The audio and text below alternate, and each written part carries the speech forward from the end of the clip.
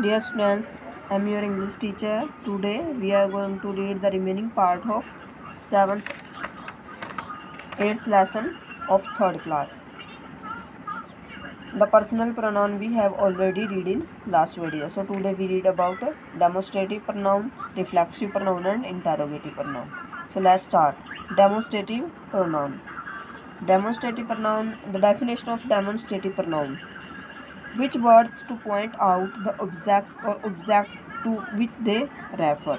यानी कि जो किसी ऑब्जेक्ट या ऑब्जेक्ट की तरफ़ पॉइंट आउट करते हैं, उनको हम डेमोन्स्ट्रेटिव प्रोनाउन बोलेंगे। इनको हिंदी में आप संकेतवाचक बोल सकते हो। जैसे इशारा करके आप किस चीज़ की तरफ़ इशारा करते हो, जैसे पास वाले के लिए दिस दूर वाले के लिए दैट और जो पास में ज़्यादा उनके लिए दो और जो सॉरी दीज और दो, वो सभी आपके होंगे डेमोन्स्ट्रेटिव प्रोनाउन ऐसे आप पिक्चर में भी यहाँ पे देख सकते हैं। नेक्स्ट है reflexive pronoun the definition of reflexive pronoun reflexive pronoun are use to show the action of verbs reflecting on the subject यानी कि वर्ब के एक्शन को दिखाया जाता है और रिफ्लेक्ट करते हैं वो सब्जेक्ट को। यानी कि सब्जेक्ट के लिए ही यूज़ किए जाते हैं। अगर आपका आई सब्जेक्ट है तो उसमें आप माई सेल्फ ही यूज़ करोगे।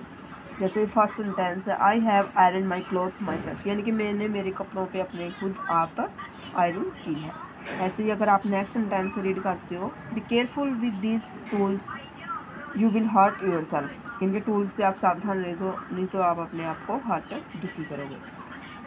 यानी कि जो साथ में तो हमें जो एक्शन वर्ड है, उसको रिफ्लेक्ट करते हैं और जो आप सब्जेक्ट हो सब्जेक्ट को भी ये पॉइंट आउट करती हैं। तो ये सभी जिसके साथ आप सेल्फ यूज़ करो, जैसे myself yourself himself herself ourselves themselves वो सभी आपके हो जाएँगे रिफ्लेक्सिव प्रोनाउन यहाँ पे एक टेबल बनाई गई है, जैसे फ़र्स्ट पर्सन के लिए हम हो गए आई मी इसका होगा माई सेल्फ प्लूरल में वी इसका होगा और सेल्वस सेकेंड पर्सन होता है यू यू के लिए आप करोगे यूर सेल्फ और प्लूरल में आप करोगे यूर सेल्फ थर्ड पर्सन के लिए जैसे ही हिम के लिए हिम सेल्फ शी के लिए हर सेल्फ और इट के लिए इट सेल्फ प्लूरल में आप करोगे दैम दे के लिए दैम सेल्वर्स ये सभी आपके, यानी कि जिसके साथ आप सेल्व और सेल्वर्स लगा रहे हो सिंगुलर में सेल्फ और प्लूरल में सेल्व वो सभी आपके रिफ्लेक्टिव प्रोनाउन होंगे.